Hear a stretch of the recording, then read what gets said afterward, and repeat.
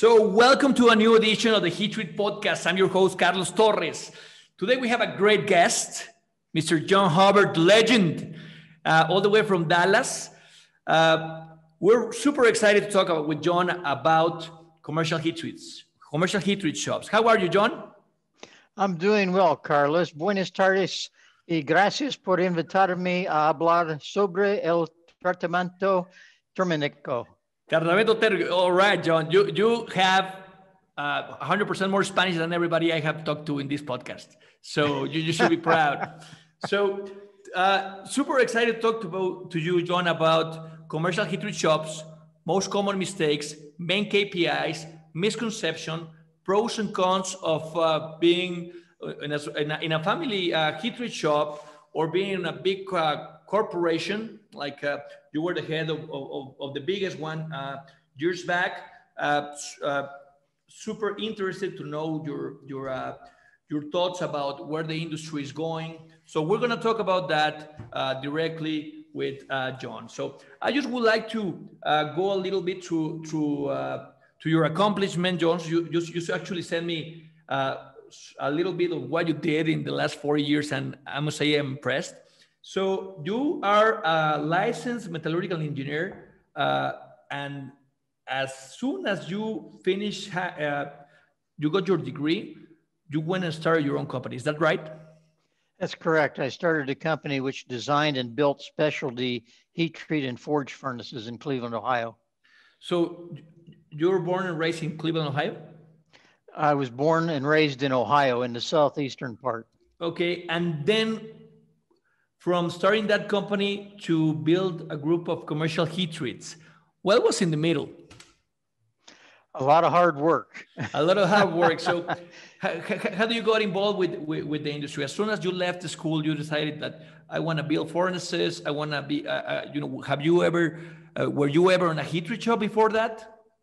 I worked my way through college in the heat treat shop at uh, a machine tool manufacturer called Warner and Swasey and uh, I worked at night and went to school during the day. And uh, uh, I originally started university, but uh, by working in the uh, manufacturing plant, I got to know two metallurgical engineers, Wayne Samuelson and Glenn Ratliff, uh, who were my mentors when I was working as a machine tool operator at night.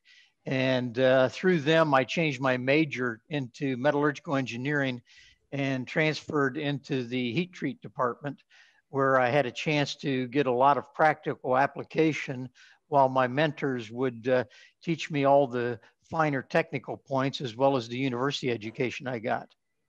So uh, you were working on a heat treat shop uh, during the time at university then you finish your degree, you start your own business, and and then uh, I uh, in, at Cleveland, Ohio, right? So, did you start a commercial heat treat in Cleveland, Ohio, or did you move? No, no. What, I, what was I, the transition?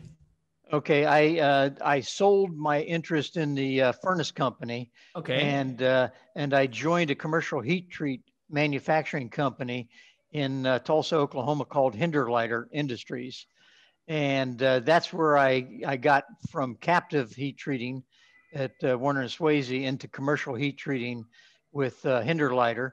And uh, I, I started growing their business. When I joined them, they had one location in Tulsa uh, doing about a million dollars a year. And I grew it uh, to where we had eight locations. And through some some very fortuitous events, I ended up getting the opportunity to buy the uh, heat treat division away from the parent company. And that's how I ended up with my own company. How old were you when you bought the company? I'm guessing I was probably 38. 38, and you, you have bought already eight uh, commercial heat treats? Yeah.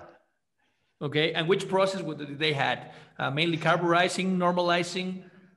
Everything from your typical carburizing, hardening, uh, stress relieving, vacuum, vacuum carburizing in the old CI Hayes furnaces. Mm-hmm. Um, and uh, they, they spanned from uh, uh Tulsa, Oklahoma into Texas, out to California, uh, Tennessee, and up into uh, Ontario, Canada. So one to eight companies uh, to eight, eight location, it's, it's it's exponential growth, right? So you just mentioned that when you you started working for this company, you had one location. Am, am I right? Correct. So if you could tell us, and I believe we're talking about 1980 something, right? In the 80s. Correct. Is this correct? Okay. How how did you you know grew and actually manage those companies because we're talking about pre pre internet, pre cell phones, right? Uh, so now is you know communication, quality systems, uh, no emails. How, how did you grow from one location to eight location, and how much time it took you? Well, in, in doing it, uh, Carlos, basically my management philosophy was that I uh, hired really good people and uh, would work with them to establish business plans and goals. And they would be the ones that actually ran each individual location. So it was a uh, rather uh, autonomous way of, of managing the business. Uh, on top of that, uh, one of the things that I did was, uh, along with my team, we developed the very first computer system ever used to manage a heat treat, which we called HOTS for HOTS. On time service. And that system was in each of the plants. And it allowed us from the time the job arrived to uh, build the router was going to be ran. And once we got the uh, router established, that was frozen until there was some reason it had to be unfrozen. So every time you got that job, you ran it exactly the same way. We tracked the work through each step of the manufacturing or heat treating process so that when the customer called, we were able to tell them exactly where their parts were and when we could have them ready for them to either pick up or deliver. And uh, so it was a very cost effective way to manage the company that all tied into our metric system for managing the business and it tied into our can, accounting system. So how many years did it took you to grow from one, one location to eight? Oh, probably, I'm going to say about uh, eight to 10 years. Eight to 10 years. So one, one heat treat shop a year? Just about. Just about. Okay, and you know I can't because we're going to talk about KPIs today, right? But uh, KPIs is something like in, from the uh, you know running eight plants without internet, without Zoom, without everybody uh, texting each other and seeing Excel spreadsheets. How was uh, how was a, a business management uh, back then? Can, can you share that uh, for for the younger audience that is actually listening, that the the, the millennials that that uh, they, they were born and raised with internet. How, how was business run that, uh, at that time? Well, uh, they were ran at that time just like they are today, in, in my opinion. We have better tools today than we had back then, obviously. But uh, back then, it was, as, as, I said, you, you set up annual business plans, you set up uh, key objectives to achieve during the year. You had the, we didn't call them that, but we had key performance indicators so that we were able to manage the, the key things that drive the performance of the, of the business as it relates to the customer and to the financial performance of the business. So it's really no different than, than it is today as far as the planning and execution process. It's just that we currently have systems now, such as the internet and texts and, and uh, so forth, emails, so that it's so much easier than it used to be um, it, it, and my style was very much that of having an autonomous way of managing. We would sit down, I would sit down with each of the managers and reach an agreement on what was going to happen over the year. And then uh, I would visit with them once a month, typically. And uh, we would go over how we're progressing on what we were supposed to be doing, how the metrics were doing. Uh, I'd get a chance to touch base with the employees and I would get a chance to go out and visit key customers so that I could uh, see how they felt we were doing. Mm-hmm. So, not, not, so you were a true believer on investing on technology, right? You just told me that you had the first computer uh, system uh, placed on a heat treat shop. Uh, is that accurate to say? That is correct. So, so if if I had like a learned lesson here is like uh, investing on technology and believe it, you know, going thinking out of the box and doing something uh, you know innovative was like a big uh, success for you on your company. I'll say. It it was. You've got to marry the technology though with the people. You got to marry technology with the people. I love that. You know, I, it, this is. Uh, great uh, you know uh, great advice you know I'm, I'm, I'm loving it because there's there's a lot of people which is reluctant to accept technology. Whenever you're trying like to uh, and as the head of an organization whenever you talk about implementing like a new platform or a new software you always see the eyes rolling of, of the staff that is reluctant to actually accept it. But it, it's, it's very important to keep just growing you know implementation of new technologies. Someone will fail someone there will be successful but if you don't implement a thing for sure you're going to go down. I don't know what's your opinion on that. Well, the the only constant in life is change.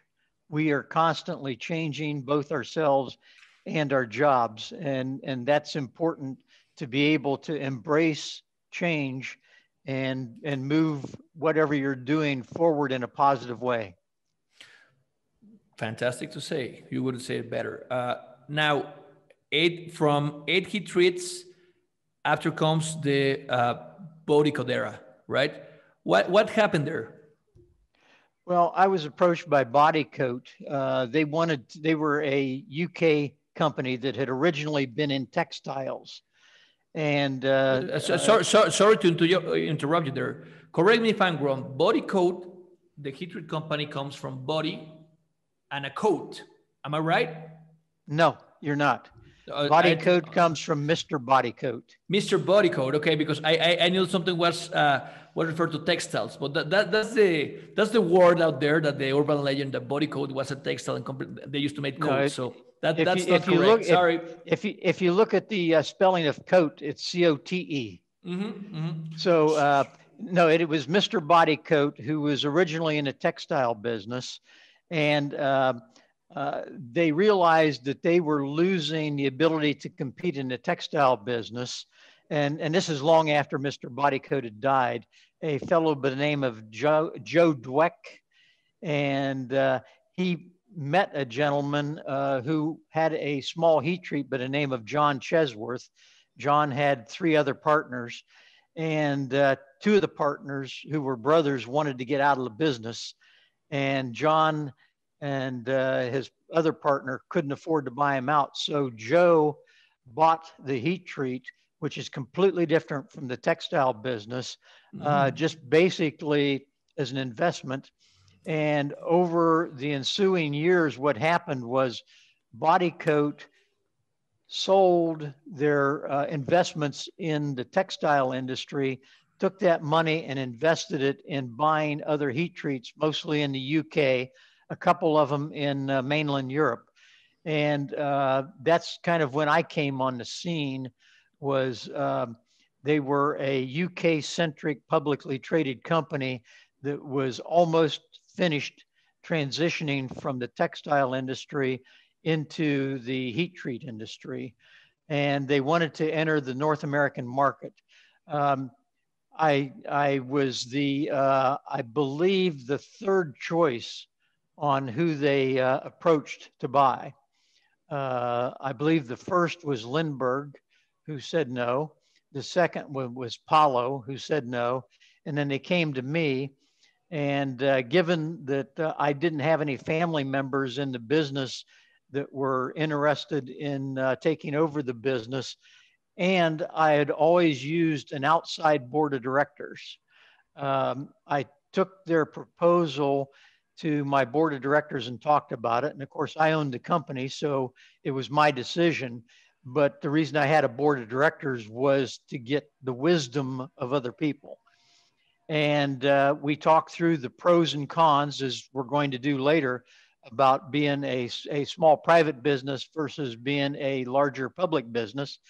Uh, I decided that uh, it would be wise for me to um, take and uh, sell my company at that time, even though it was earlier than I was personally ready so, so which, which, year was this? Uh, I was in my 50s, so I'm in my early 50s. Okay. And uh, so I, I, uh, I sold uh, my company, Hinderliter, to Bodycote and became uh, uh, the president of Bodycote North America. We grew by acquisition. Again, Bodycote had a large amount of cash from having liquidated their textile business. And so we started buying companies. And as uh, luck would have it, um, Lindberg, who was the largest in North America, um, became available. And uh, we ended up buying Lindberg. And in, in a uh, matter of overnight, we went from having, uh, we had grown it from probably my eight plants up to probably, I don't know, 18 plants. Uh, and, and then all of a sudden we had on top of that another 45 or so plants added. So that became a uh, real interesting transition. The, uh, the, the guppy swallowed the whale. Mm, so, so it, it's amazing for me to believe that Bodycote didn't uh, own a facility, let's say 30 years ago. Is that accurate? Uh, their first in, facility the would have would have probably been uh, in in the uh, 80s. In the, the, their first street facility of Bodycote was uh, acquired in the 80s, right? And that, and that, that would that would be my guess. Yes. And and and they uh, they you sold your company 10 years after that. In the 90s? Yes, approximately. Yes. Okay. So Bodycote started in North America in the 1990s and your uh, group was the first uh, well became Bodycote uh, usa if you want to call it like that right correct yes and in, in, in the 1990s and then Lindberg for the guys that don't know Lindberg i remember Lindberg when i was a, a very little a child right uh, they were yes. like the, the, the, the big one of the biggest players i don't know if the biggest at that time but they have they, they you know they, they were a big player and they used to purchase a lot of stuff a lot of furnaces and Bodycote acquired that. And by, by doing that, uh, it became the largest uh, commercial heat treat uh, company in the States when Lindberg was acquired? Absolutely, yes. Okay. And, and by the way, don't confuse Lindberg Furnace Company with Lindberg Heat Treat. Oh, totally, they, totally, totally. They, they were two completely separate companies. There, there's a Lindberg uh, that actually manufactures furnaces, and there used to be one Lindberg company that uh, was a heat treat shop. Correct. Okay, so uh, in, in the meantime, you were uh, president of Bodycote North America. You were working on that. Was Bodycote growing at the same level in Europe or in Asia at that time? Uh, not in Asia, but in, in Europe. Um, right after uh, I bought Lindberg, uh, Bodycote uh, acquired a group out of France that uh, dominated the French market, and they bought a group in Sweden that dominated the Nordic countries. And so, yes, they, they were growing in Europe after, after we had grown North America. And, and why the decision uh, to buy companies uh, instead of uh, founding them? If, if they had the capital, you know, why, why does Bodycote uh, decides to, well, sometimes they buy a company, some, sometimes they found a company. What, what's like the, the decision driven? Okay, Carlos, you've done it yourself. You've started companies. It's painful. It is. Uh, it, it is major negative cash flow. And uh, in, in today's world, it's gotten even harder getting approvals from various municipalities to put in mm-hmm. a, a heat treat. Mm-hmm. It's become difficult from an environmental standpoint. It's become difficult from an approval for things. You mentioned NADCAP earlier. Uh, getting approvals is a time consuming business. So if you can buy a company that is already going and already has cash flow then that's a positive compared to doing a greenfield. And Bodycote rarely does greenfields. They've announced two greenfields this year. Uh, one of them is outside of Chicago, which really is a replacement for what was Lindberg's flagship plant in Melrose Park. It was a huge, huge factory that uh, over the, the decades has shrunk. And so they needed to right size it. So they built a new plant in Aurora. The other new plant they just announced, I think last week, was in Syracuse, New Syracuse. York. That's because the old plant burned down and mm-hmm. they needed a new plant. So very seldom does Bodycote build a brand new plant. They we we have or they have done it, but the the preference is to buy a company. Now I told you the pros of it. There's cons to it too. The cons are that when you when you buy an existing heat treat, you uh, inherit their equipment and facilities, which typically have been put together uh, haphazardly not in all cases, but typically heat treaters uh, start out and they buy a furnace and, and it's used and they rebuild it and they set it in the corner and don't think about what's going to happen 10 years from now. And 10 years from now, they've bought five more furnaces and shoehorned it in, and nothing has a flow to it. Uh, none of them have been put in with maybe the same control systems or combustion systems or anything else. And so you, you, when you buy an existing heat treat, you buy whatever is there from an infrastructure standpoint, which is usually not anywhere near optimal. The other thing is you're buying a culture, and culture is extremely important to the success of a business. And in, in a privately owned company, you have a very different approach to culture from that of a um, publicly traded company. Uh, when you've got a bunch of, uh, of companies, you have to have uniformity as best you can. And in some case, legally, you're forced to have uniformity between plants. Um, anywhere from uh, work rules to payroll rules to safety rules to environmental systems. Uh, I mean, it, it's all very interwoven, and the culture of a company is uh, very important in its success. And let's talk about culture. I, I, I, love that you brought this subject up because right now, it, like uh, when we talk about other industries like Zappos or Amazon or you name it, they're always talking about uh, the culture, like Pixar, right? But in your in your case, uh, well, in, in the case of heat treats, there are a bunch of uh, individual companies, let's say uh, from 50 people to let's say 100 at most. I don't know if that's accurate to say, but each location has a different culture because they, it, it, was driven by their manager, the leader, the president, maybe the owner, right? How do you standardize that culture? Maybe one company was all about customer service, and maybe other company just about uh, uh, maintenance, and maybe other company is, is, it's it's all about just making profit, right? Uh, how do you standardize in in many locations the same culture when you acquire companies? Okay, it's it's very time consuming to start with, and and uh, remember I said change is the one constant in life, um, and when you're changing culture, you also run the risk of changing people because some people just cannot adapt to a new culture, and and I have found that one of the key ways to get culture is to get a common vocabulary so that you talk about the same things and you talk about the same metrics so that you're measuring the same things. You talked about whether it's maintenance, that's covered in uh, equipment uptime. Uh, you you uh, talked about uh, turnaround time, that's another metric. Uh, you can talk about uh, energy utilization.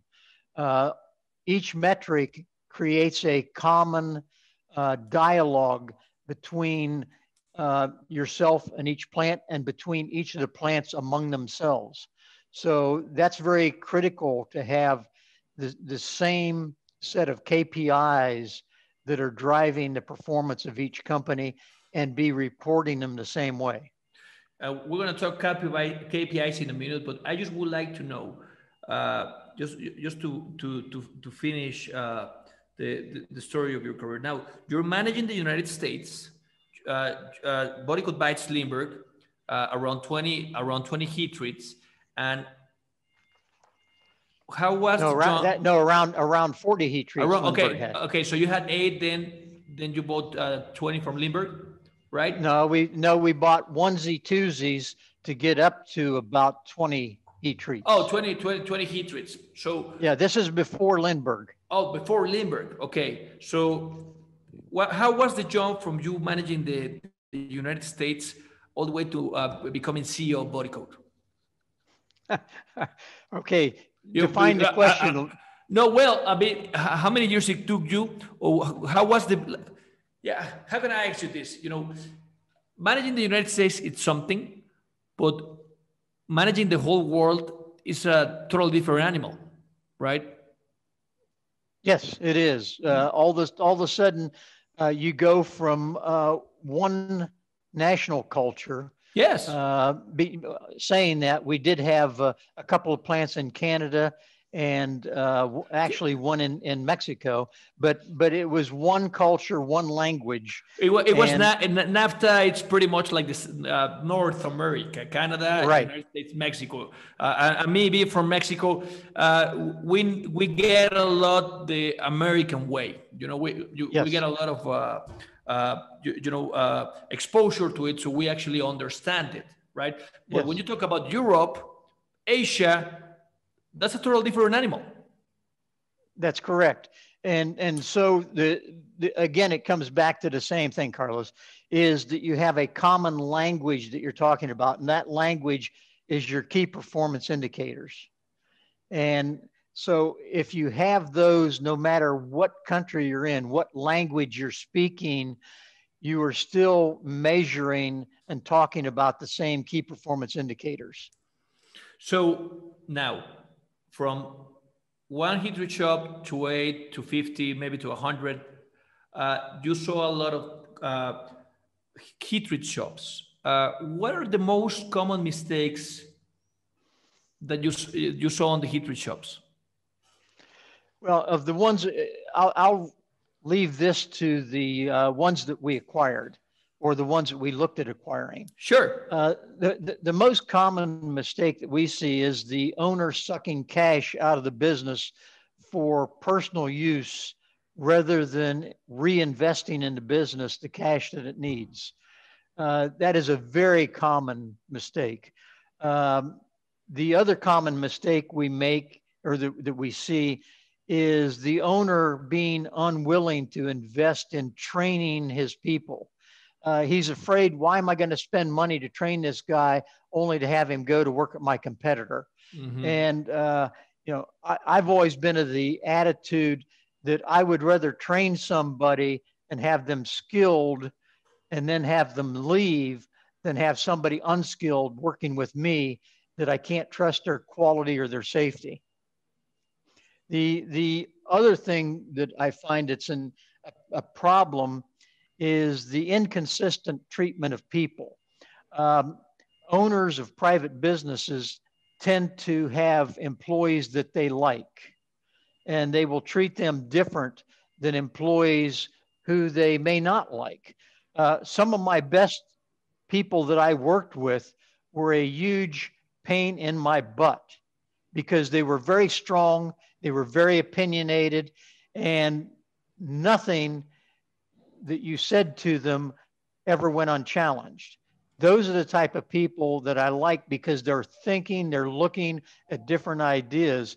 But in a private business, um, people who have independent thoughts are typically beat down rather than encouraged.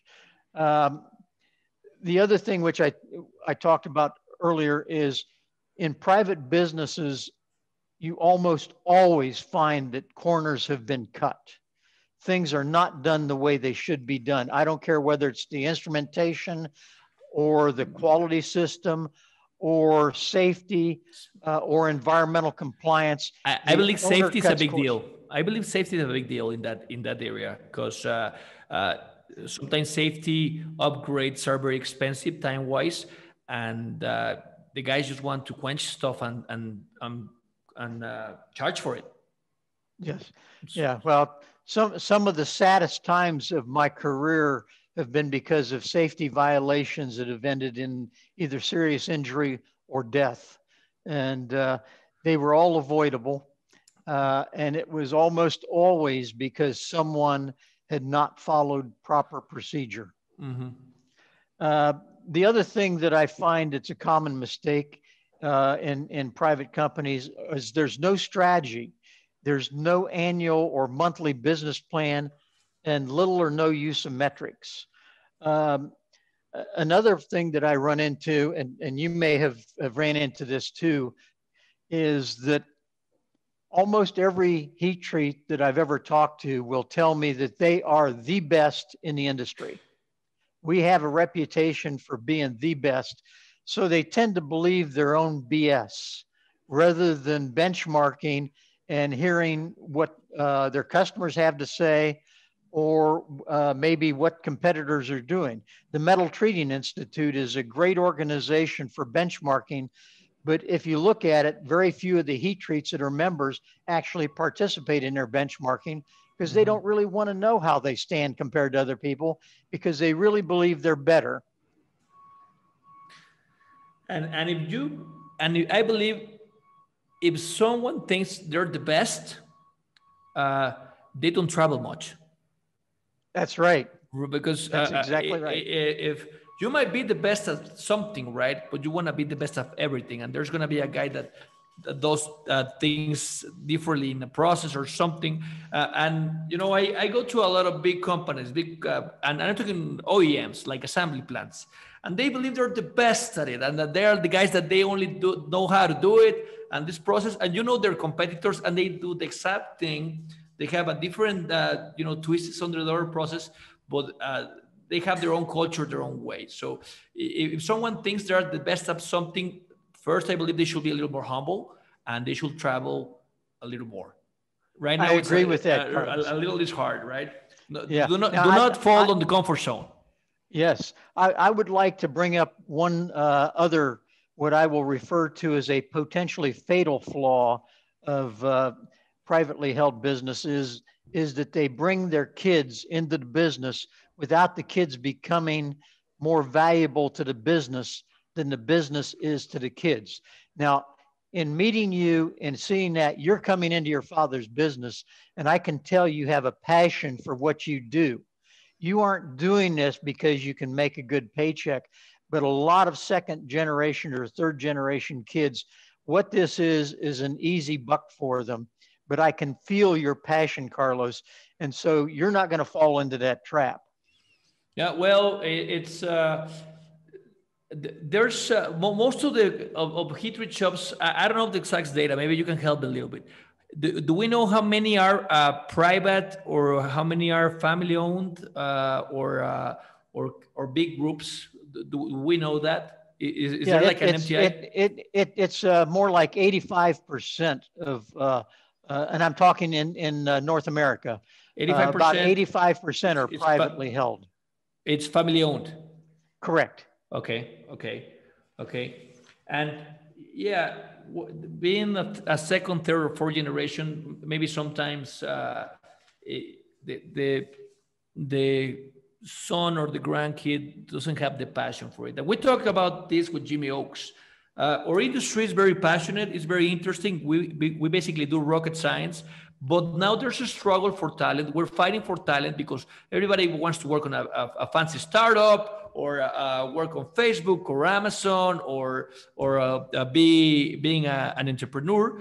And I believe our industry is very passionate. It's very interesting, but we have as a community to do a better job uh, to to market it and and and and invite the younger engineers to work on our industry as, as problem solvers because they they see a bunch of old furnaces with flames with oil on the on, on the pit so it's not a very sexy industry until you get to know it i don't know if, if, if you have an opinion on that how can we attract younger talent to this industry john well i think the, the key way to do it is through apprenticeships and to and mm-hmm. to uh, reach out to uh, high schools to bring them in on field trips and, and explain to them what we do, show them how the product that we heat treat ends up in very important applications.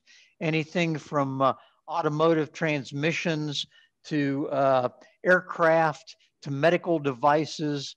Um, I mean, get them to see that you may be looking at a chunk of metal, but that chunk of metal goes into this component that goes into that device, which does this great thing in the world. And, and so I think reaching out to them at a impressionable age. Uh, what's happened is that um, things such as being a uh, computer app developer or being a lawyer or being an accountant has become very glamorous um, so that people are attracted to those. They don't know anything about heat treat. Uh, my father was a tool and die maker, and I knew nothing about heat treat until I went off to college. And so, if if we can reach out to young people, if we can offer apprenticeships to them, uh, then I think we can attract more people into it to make a career. Because once you get into it, you find out that every day is different. There's no two days alike, and they're always very challenging intellectually.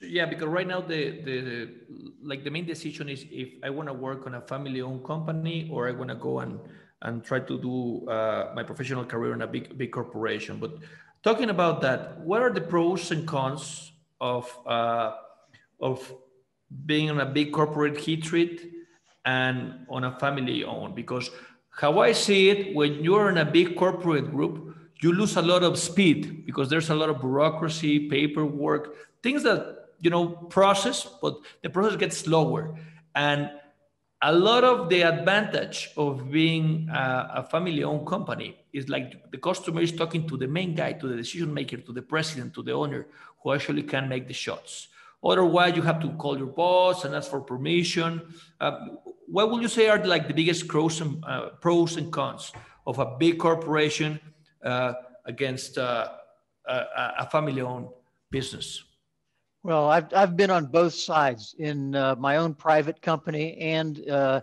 in a publicly traded company. And so I have great insight into it and experience. The pro of corporate ownership is you have access to capital for growth. I told you the Bodycote was able to grow because they had access to capital by liquidating the textile side of the business. Uh, that's a that's a major plus in our industry because heat treating is so capital intense. Uh, the other is in a in a uh, large group, you have professional operating systems, uh, which uh, give you the discipline that may or may not be there in a private company. Uh, you've got development and growth opportunities for your employees, which tends to get them to stick around and and learn and grow because you've got multiple locations and they can go from from being a furnace operator to being a general manager at some point in their career. I think that's very get, valuable. I think yes, I, I think that's very valuable. That's that's one of the challenges of a private company that I'll get into later. Um, the other thing about a professional business is that, or a larger business, is you have professional support. You have accountants, you have HR people, you have metallurgists, you have uh, mechanical engineers, you have facilities engineers. And the other pro is that it's very performance driven. Uh, you, you don't ever take your foot off the accelerator. You're always driving forward. Now, you mentioned one of the big cons of being in a large corporation is you've got overhead, you've got people above you. Uh, they want to know why. What do you What do you need this money for? And uh, you have semi-rigid systems. Uh, it takes time to get an approval for a capital investment. So it is a slower moving organization. Uh, and you also have someone beside yourself looking over your shoulder. So if if you make a bad decision, it doesn't get swept under the carpet because nobody wants to tell you you have no clothes on. Uh, it gets talked about, and you have to uh, make sure you don't make too many bad decisions, or you're not going to have a job. So that's one of the cons of a corporate ownership. The pro of family ownership, you've already had.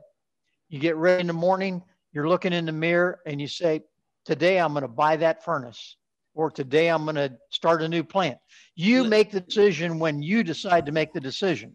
Yes, I, I'm going to uh, stop you there because you mentioned in the beginning of the interview that you used to have a board of directors. and Yes. you were the owner of the company. Uh, Correct. Would, would you encourage, uh, uh, uh, you know, uh, small, small, well, small to mid-sized companies to start their own board of uh, advisors? You know, not not with a vote, right? But to get people that actually know, uh, you know, about accounting, or maybe that they know about uh, some other industry, another uh, businessman, and and say and just share with you, share with them. I want, I would like to buy a furnace. Uh, I would like to uh, hire a sales director and and, and just uh, throw that idea around. Will you encourage them to do so? Because when you own a company, you can do whatever you want with it, but it's not like you're always right. But if you bounce the ideas with some other experts that doesn't that don't have an interest on the company, I believe that's also, uh, that's very valuable. I agree 100%. That's why I had an outside board of directors. Uh, they, they- didn't they- get paid any. They, they didn't get paid anything. They uh, they got a meal, and they got to travel to uh, Dallas, uh, and uh, we would have regular phone calls, but they didn't get any kind of a salary. And I Uh, but they, picked did- but they, people- they, they didn't have boat. Uh, did they had to boat, or were you they Yes. just were uh, Oh, yes. advisors? Oh, yeah, they had a that- vote. Yeah, of, course they did. But but then again, remember it's a privately held company. Therefore, if if they really get you upset, you vote them off the board because you had control of, of Totally. on the board. Well, I never but I never I did that because my advisors were always very business oriented and they Mhm. understood that it was my company and they were there to give me their best advice and experience. Uh, so I urge people to bring an outside board of directors in, people who bring skills that you may or may not have. Uh, for instance, I, I had um, a uh, fellow who was in the investment banking business. Um, I had a fellow who was um uh, very uh, much into the um uh, investment side of things. I had a fellow who was a furnace manufacturer. Um, by the way, never bought one of his furnaces while he was on the board, but he understood the heat treating industry from a completely different perspective. And so I, I had those three non executive directors that were my counselors throughout the process of, of running my own company and is very valuable. Now, I talked about the pros of a family business. The con is you may decide you want to buy a furnace, but you may not have the money. Mhm. And so you don't have the uh, huge availability of capital like a larger company does. The other thing is, you know, that's why you have an outside board. You've got one point of view. And if you think that your employees are going to be completely honest with you, you're fooling yourself. They know who signs the paycheck and they will fish to find out what answer you want. And so you don't really get an independent, um, very, very good input from your own employees. The other two big cons, as I see it, one of them is that typically the owner of a private business, that business is their personal wealth. And Mhm. so they, they have their concentration of wealth as opposed to whenever, you know, I had my eight companies, I had eight plants. So if one of them caught fire and burned down, I had seven more. And so if somebody had got a single location uh, or even uh, several locations, their wealth is tied up and concentrated. The other thing is, what are you going to do when you want to retire? Uh, recently on the Monte, uh, they announced that Robert Wooler in Philadelphia was closing its doors. They're closing its doors because Biff Geidel had nobody behind him to take over the business. And coming back to the other fault that I've seen, he had not invested in his facility. But what he had was he had major aerospace approvals that were worthwhile. But he couldn't let go of the business, so it's gone. So, what do you do when you want to retire? Mhm. Now, uh, how many compa- how, how many heat treat shops have you been involved in buying? uh, 50, 100? You just, you just a, number. How many I've bought? Yeah, well, with Bodycote, uh, do, do you do entire career now with the terminal processing uh, uh, about 100? In, in, in my career, I've bought about 200 companies. 200 companies, okay. Yes. On, on, on these purchases, what's the most valuable asset of a heat treat? Well, let's see. The, uh, I mean, when you enter to, is, is it the building, the furnaces, the team, the, the customer contract that they have, the, uh, what, what's like the main thing? Okay, well, how do we value a heat treat? That's how I'll answer the question, okay? Okay, is, is that a fair answer? That's a fair answer. When, when someone's this, it's a very personal experience every seller is going to have emotions. And I say that as having been through it personally when I sold Hinderliter. They have expectations, whether they're founded on solid business principles or what I call country club gossip. You hear that somebody sold their business for 5,000 or $5 million, and therefore my business is worth at least $5 million. It's got to be founded in something realistic uh, every business is going to be sold or closed at some time in history. And when professionals value their business, they look at multiple things. And I consider myself a professional, having bought you know around 200 businesses in my career. You look at their historic performance trends, and, and that's probably the top line that you look at.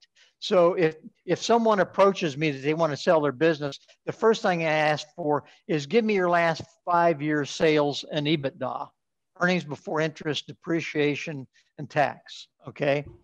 Uh, that tells me right away, am I interested in them from a financial standpoint? If I am, then it goes into looking at their organization.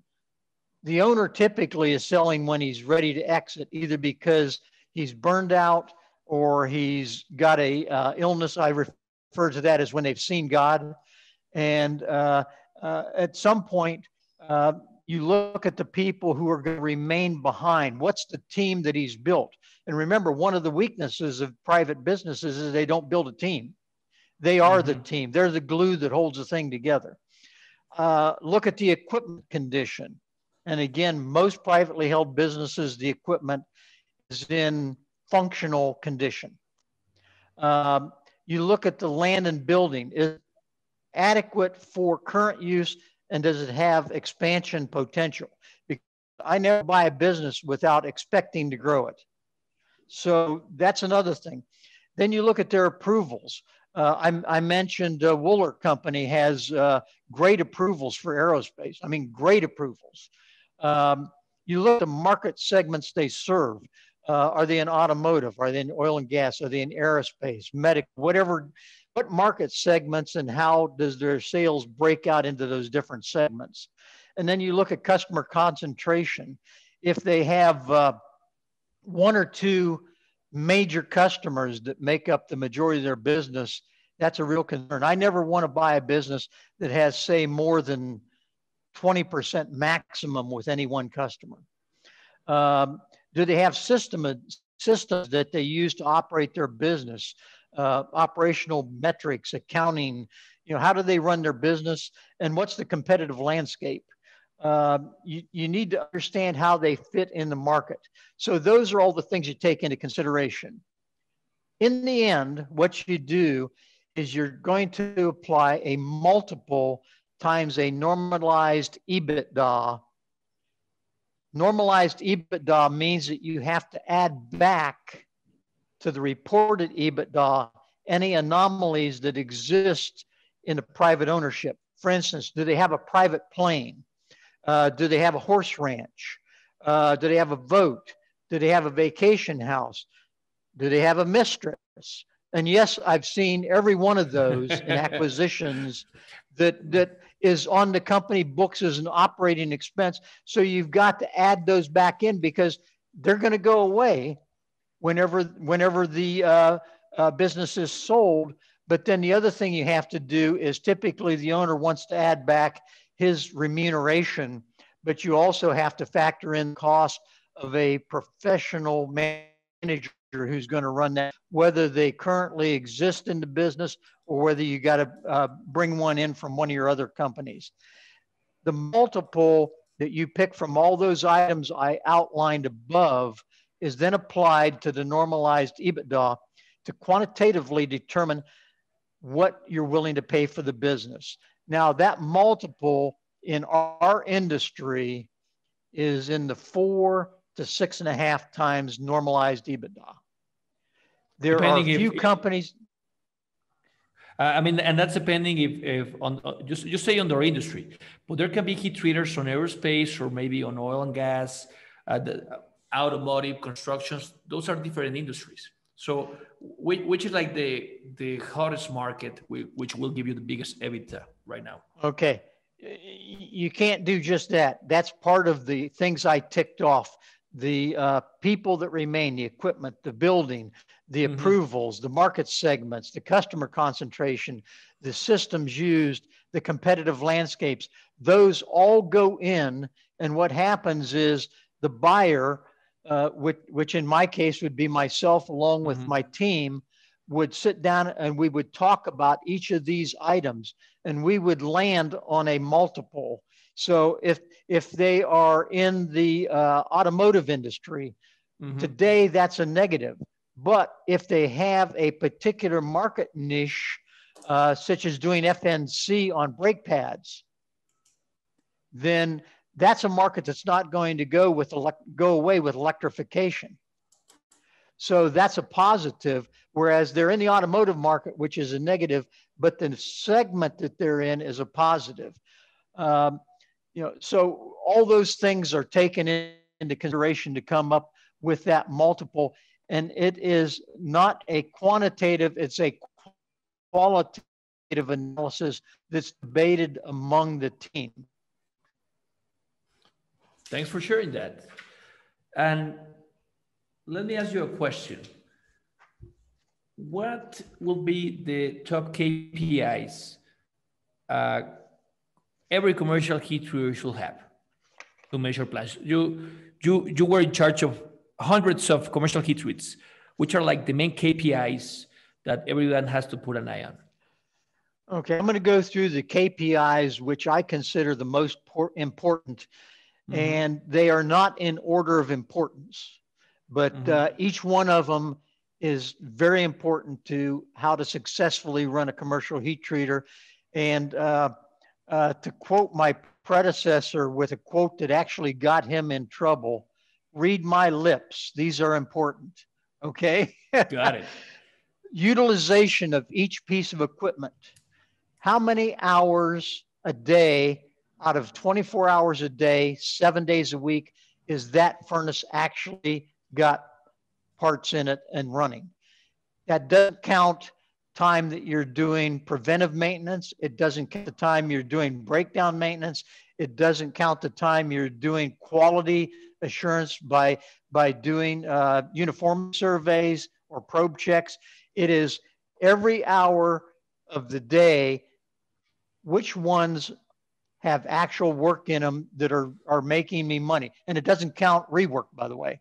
So how, how, how, uh, how I measure my utilization is that it's, it's a percentage. We, it's a percent, but if we have a recipe, if, if the furnace is running a, a process recipe, it's yes. considered utilization. If the furnace is hot, but it's not running a process recipe, it's, co- it's considered idle time.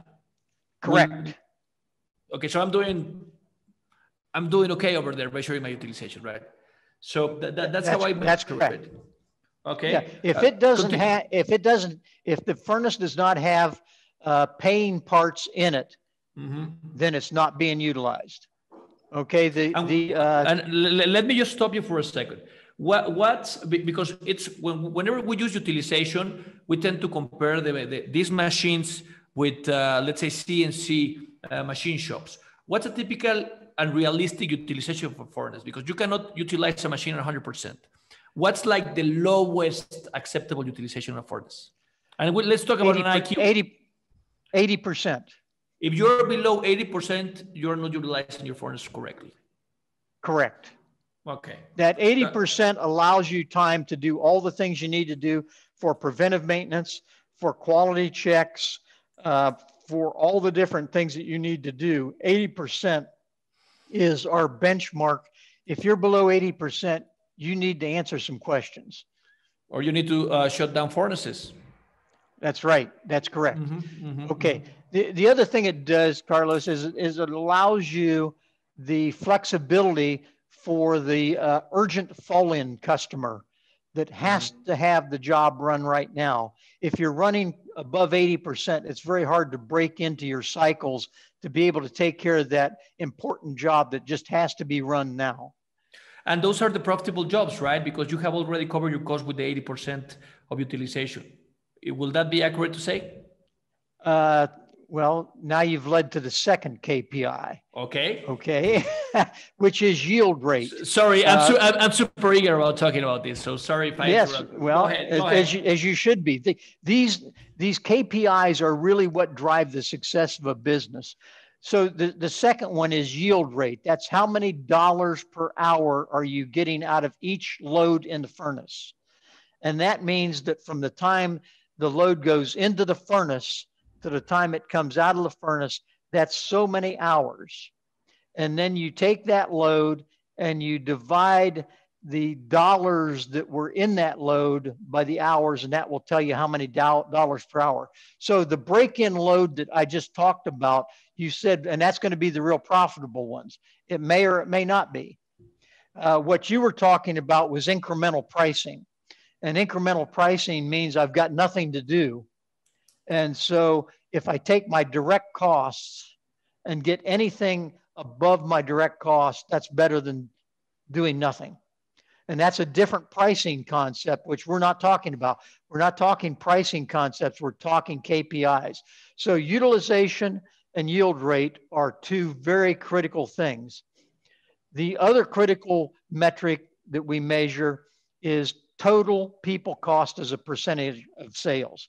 Now, total people cost is important because total people cost is more than just the salary you're paying. You've got fringe benefits that you're paying. So you need to add that in on top of it to know exactly what your total people costs are. But total people costs are as a percentage of sales is important. Why is that important? Because people cost is the most expensive thing in a heat treat. Okay. Then the other key metric is turnaround time. And that means from the time the job comes in to the time the job is completely finished and ready to be picked up by the customer. The other uh, metric is EBITDA percent, which I talked about before, earnings before interest, tax, depreciation, and amortization. Uh, that's important just because that's an overall measurement of your profitability. The other things you have in here already will drive EBITDA up to a nice level. And then the final one, not in matter of importance, but just because it's the last one I'm going to cover, is safety, and that's incidence and severity. Our industry is a very dangerous industry, so it's important that you measure your in- incidence and severity and you talk about them. In fact, every meeting I ever held as a CEO, with uh, my operations people started with safety. Uh, let's talk about safety. When you when you talk about safety, you're measuring safety of, of, of the personnel of the or you're referring to it as liability. Well, I view safety as every employee comes to work hmm. expecting to go home to their family that night. Okay. In one piece. And I believe that it is our responsibility to do everything in our power to make sure that that happens. Mm-hmm. So if we want to attract people into a, our business, they need to understand that those fire belching furnaces with flames everywhere are safe. They are operated safely, they're maintained safely. And even though they have danger with them, we manage that danger. So those are like the main KPIs. Let, us just repeat it. Uh, let's uh, utilization of each piece of equipment, uh, yield rate per load, it's uh, dollars per hour, uh, people cost as a percentage of sales, turnaround time from door to door, EBITDA percentage, and safety. So that will be Correct. like the. So let me look at the camera. You heard it from John Hubbard, right? so, so thanks, John. Uh, my next next question to you will be: uh, Why should the manufacturing consider using a commercial heat treat as opposed to investing in their own capacity? Well, what's the pitch there from from the commercial side to to the manufacturer? Okay, well, to answer that, it, it's uh, just a second. Um, I want to get my notes here because I, I want to make sure. In a manufacturing business, they have KPIs as well as we do. And so they're looking to control costs to be fast to satisfy their customers' needs. Uh, the primary reason a manufacturer or would or should use a commercial heat treat as opposing to have their own heat treat department, besides the high capital costs needed, is the cost of not operating 24 7.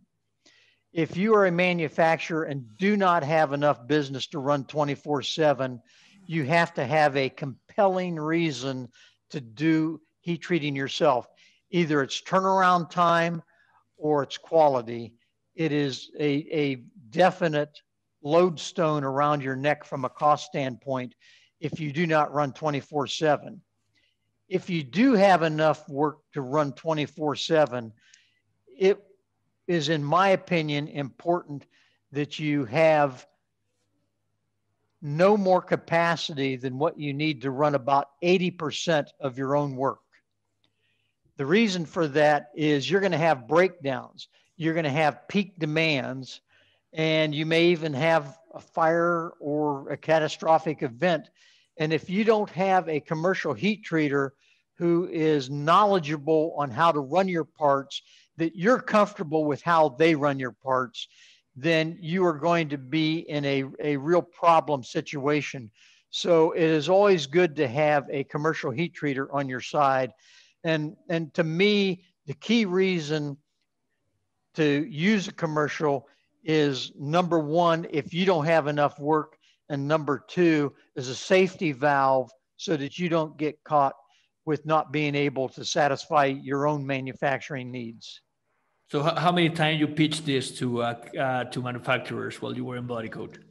Hundreds of times. Right. Hundreds of times. And and I can tell you that it comes down to the person on the other side of the desk's uh, philosophy there are people who want to control everything that goes on. Mm-hmm. They believe that they can do it better from a quality standpoint.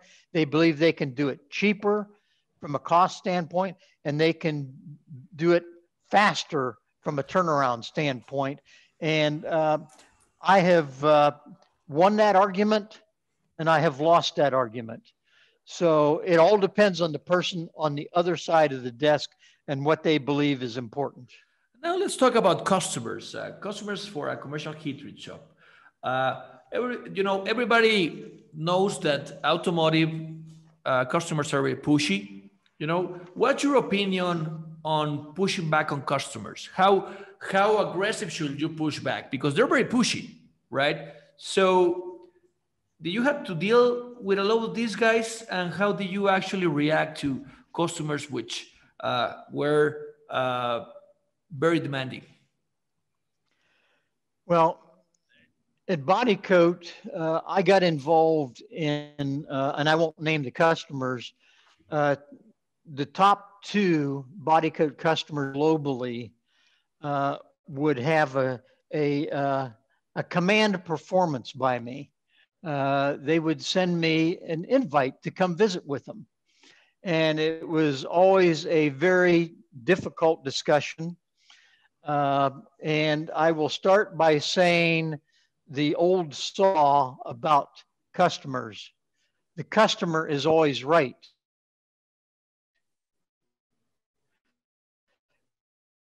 But your is to decide if the pain worth the pleasure. if what the customer is specifying or demanding is too much pain, then help them find an alternative supplier. The most demanding customers I ever worked with helped us to become a better company. That's when they were pushing back on quality or delivery. Uh, being able to fire a customer is one of the advantages of a heat treat that has not allowed themselves to become overly dependent on one customer. I consider 20% to be the maximum level of dependence on any one customer, but it, it is a uh, difficult situation when the customer is difficult and unreasonable, and you've got to decide when the pleasure is not worth the pain. So you're saying if, if a customer is less than 20% and you are not very dependent on two or three customers, let's say, you have the privilege of firing a customer because it, it won't affect you as much. You have the ability. You have when, the, whenever. Well, you when, actually have the ability to go back and charge more and say, well, if this is your level of demands, in order to keep up with the quality you're requesting and the customer service uh, level that uh, that you want, uh, this price has to change, right? So you, you, it puts you in the position to negotiate. Is that what you're saying? Exactly. And and and by the way, it is rare that we ever walk away from a customer uh, without trying to negotiate more pleasure for more pain. Mm-hmm. And, and what's the benchmark? Are all of the comp because having having everybody wants to have many customers that are not like the main guy. Uh, you know, what is the benchmark on every heat treat shop? Uh, they have 5 10 20 customers they because i know that there's a lot of uh, of uh, uh, commercial shops that they run on a program on a customer right they they might have uh, one customer which is 50% of their business because what you're saying is like the perfect scenario for every business owner but what's like the benchmark on the industry if a customer is going to be more than 20% then uh, I would require a long-term contract. Mm-hmm. But the, the, that that and, and the long-term contract, by the but, way. But but let is, me let, let me refer my question. Uh, what, what on heat treat shops, the ones that you've seen, you have purchased, you have visited. What's like the benchmarking on on on customer split of the pie? Is is is the higher end depending on one customer? or there's there are a bunch of them which they have a very healthy uh, pie split. What what have you seen? Well, the the lion's share of businesses which I've ever bought have been very diversified in their customer number and base. And as I said, I can only think of a couple of cases where I bought a company that had greater concentration than 20% with any one customer. And when I did, that customer who was larger had a long term agreement in mm-hmm. place. Mm-hmm. So if you had a very dependent customer, you should make sure you have a long term agreement. That, that's, that's correct. Your, so is neither bad or good because if there's the business out there, but you're going to depend so much on a customer, just just get a long term agreement. That's right. And by the way, when you say just get a long term agreement, getting a long term agreement is uh, very painful to do. But if you stand by your guns and you are truly important to that customer and they are that important to you, then it's worth the battle. Mm-hmm. Now, we, we have seen a substantial change on processes. Uh, you know, uh, vacuum. I actually, I actually read something about that you predicted back in 2001 uh, that know that uh, there wouldn't be any more batch IQs by 2001, and that didn't happen. Vacuum had their like uh, was like the trending thing, and now now uh, you know uh, German technology, uh, French technology, European, super expensive, super fancy equipment. They they look like Teslas, but they're not cheap, right? But right now, you know FNC gas nitriding, uh, we called it a HIP uh, additive manufacturing. Uh, now there, there's even uh, they want to they, they want to remove endo. There's a couple of OEMs removing endo from the chamber and using kind of a vacuum uh, hybrid system.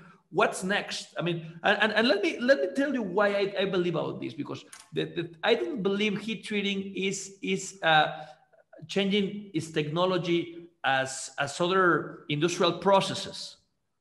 It's, it's very slow because furnaces have a, a, a very long lifetime. But what can you tell us about the uh, future of heat treat? Well, Carlos, I actually made my prediction in about 1985, and I predicted that by 2001, we would not see batch IQs with oil quench anymore, that furnaces would be vacuum with gas quench. And I based that on the fact that it made for a cleaner, safer, cooler workplace that would be able to attract employees easier because even back then we had trouble attracting employees. And so I thought that uh, vacuum would solve all those problems. But in reality, I was naive. It didn't happen. In fact, I, I uh, um, found that what happens is cost is the big driver of market demand. And even today, batch IQs with oil quench are outselling vacuum uh, with with gas quench, and it comes down to dollars and cents. Um, if your product requires the high level of, of metallurgical properties and you're willing to pay for it, then you're going to end up with uh, LPC. Uh, but not many people need that. And so it, it is a niche market and only certain applications can justify it. Uh, I don't see, or you're, you're right about the fancy equipment that's out there, but the fancy part of it is mostly in the control side of the business. Uh, the, the basic machine is still pretty much the same as it was. Mm-hmm. Uh, so it's the controls that, that are in place, electronic and atmospheric controls. Um, so we're not a fast changing industry, which I think is fortunate in some ways.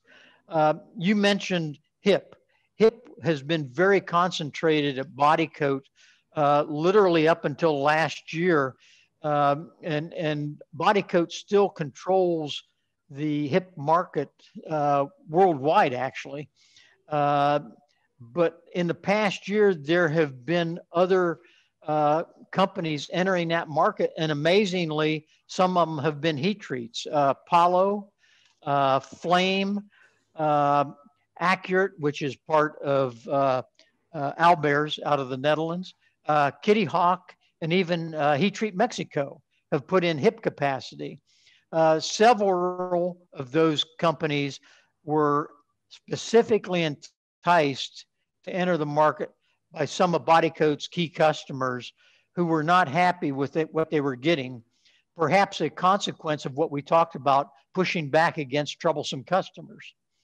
Um, but you need to be aware that HIP is a hugely capital intensive business and it is potentially dangerous. Uh, Bodycote, when I was there, had a plant in Andover, Massachusetts explode and destroy a 110,000 square foot plant. Uh, fortunately, nobody was uh, seriously injured. Uh, it happened uh, on a night shift weekend, and so there were only two people in the plant. And uh, it was amazing if you saw the pictures of what was left after the explosion. Additive manufacturing is ramping up. I don't know where it's going to go. I think that it's a niche market and I think that it will be driven by cost, just like I said, the batch IQ versus mm-hmm. vacuum. Uh, I, I really can't tell you, but I can tell you that additive manufacturing is going to require heat treating and it's going to retire in some cases HIP application.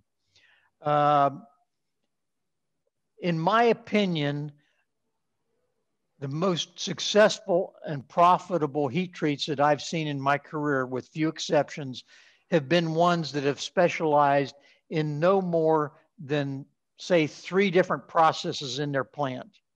Uh, they become specialists and they know what they're doing. if they try and be jacks of all trade, they are masters of none. So I'm an advocate in heat treats having no more than three processes that they really offer. Thanks, John. So this is John uh, predicting for the next 20 years. Uh, hopefully, you're right this time. And, I probably uh, won't be able around be around it, to find out. it, it, uh, things are going to evolve. Uh, now, I, I always like this uh, this section of the show hacks and gadgets. John, is there any heat treat hack or gadget that you know that has helped you in your career that you would like to share with the audience? Well, to me, uh, a hack or a gadget is something that's kind of a sleight of hand. Uh, and heat treating is a basic service industry.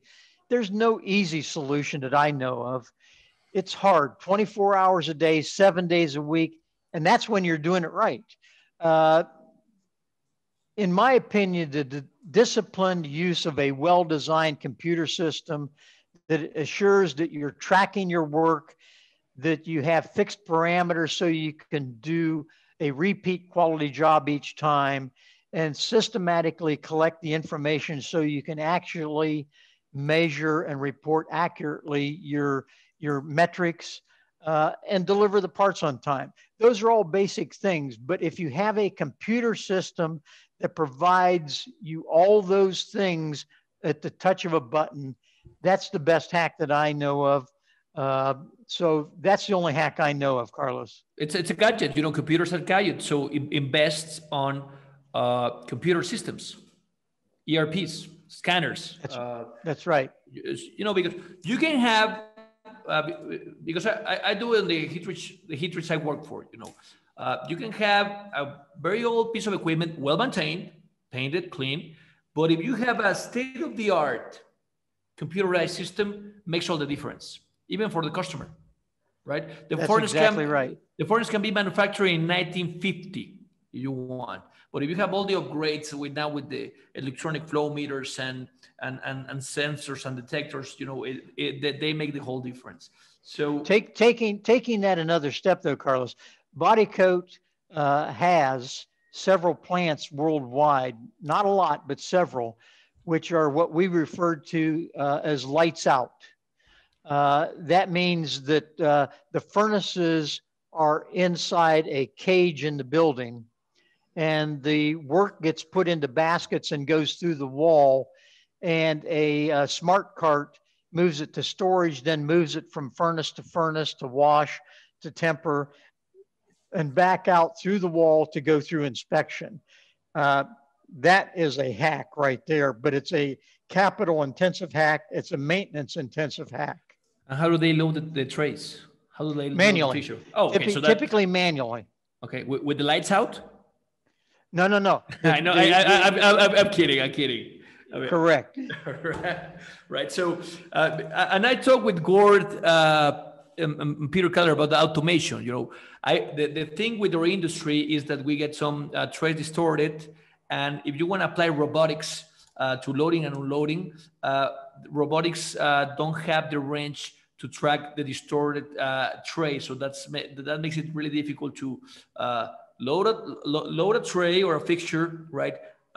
put it on an automated line, uh, finish the process and then unloading it and, and go back. I mean, that's that's a real challenge with with having a full automated line and on, on an IQCell. Uh, do, do, you okay, have any refer- do you have a, any reference to how can we actually uh, load automatically the fixture in back and forth? Well, if you're talking about taking the parts out of the customer's totes and putting them into a fixture or a basket, uh, that really only works if you have uh, uh, a consistent flow of the same parts from the same customer. Mm-hmm. Uh, and going back to my no more than 20% with any one customer, and within that customer, you're going to have a multitude of different part numbers. It gets very difficult. There are sophisticated robots that can handle different shapes and configurations, but those are very difficult. Coming to your point about the alloy distortion, uh, the, the way that I've seen that handled is first buy good alloy. Mm-hmm. Uh, buy buy from the best supplier that you can, the best alloy that they make, And second of all, use laser gauging, which can tell you if the tray is distorted out of spec. So that before it ever goes to get loaded, you know if it's distorted too much and needs some maintenance done on it. Thanks for the tip. I'll, I'll do it myself. And just to conclude, eh, John, it's been great talking to you, getting all this knowledge. Thanks for sharing this with us. Uh, will there be an advice or a personal experience you would like to share for the new generation of heat traders who are watching this uh, this podcast? Uh, you have been in the heat trade basically all your life. You you've been uh, uh an employee uh, you've been an owner, you've been a big CEO, now you have a, an, a, an investment firm, right? So basically, everything has uh, turned around uh, heat treat. What will be an advice to the new generation of heat treaters? Well, first of all, you need to prepare yourself by getting a proper engineering education, which you've done, Carlos.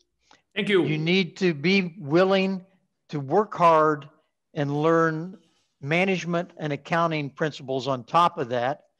Uh, that's really the advice. I've been very lucky in that I love heat treating, solving material engineering problems for customers, providing jobs for employees, and making a good living for my family. Thermal processing is a field that is not going to go away. So you've got job security your whole career it'll change, but not. It's not an industry that's likely to suffer a major paradigm shift in our lifetime. Uh, just like you're doing, you can become a power player in the heat treating industry. You just have to apply yourself and, of course, have luck. And I define luck as where preparation meets opportunity. That's uh, the advice from maybe the most successful heat treat in the world. So uh, you follow it, audience. John, it's been great talking to you. Uh, it's let, us hope this is not the last time we we can talk. You know, you're always you know you, uh, just just let me know you you would like to do this again. Uh, super excited to learn about uh, all your wisdom and years of experience. Thank you very much. Uh, please subscribe uh, to the channel. We're on Spotify, uh, LinkedIn, YouTube, the Heat Treat Podcast. We posted weekly on the Monty. This is the Heat Treat podcast. See you next week.